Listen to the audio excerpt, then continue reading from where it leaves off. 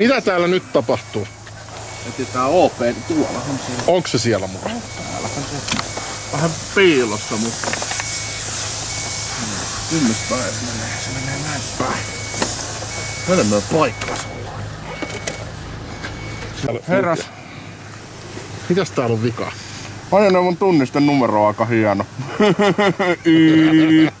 No mut se on Miltila joku on, eli valo palaa. Vikakoodin kokonaismäärä yksi. OPD se vai? Pakoka- pakokaasun kierrätys A. EGR.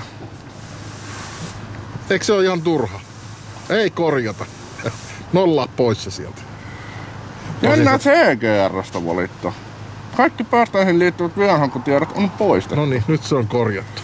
No. Noin, nyt se on taas kunnossa. Hyvä vehe, nyt voi lähteä katsastukseen. Sitten laitetaan auto käyntiin. Noin. Noin, auto on korjattu taas. Taas toimii. Ja tälleenhän nämä nykyautot niinku korjataan, että ei näitä, ei täällä mitään tehdä. Tietokone kiinni ja homma kuntoon. Ei ole häiriövaloja enää, nyt on hyvä.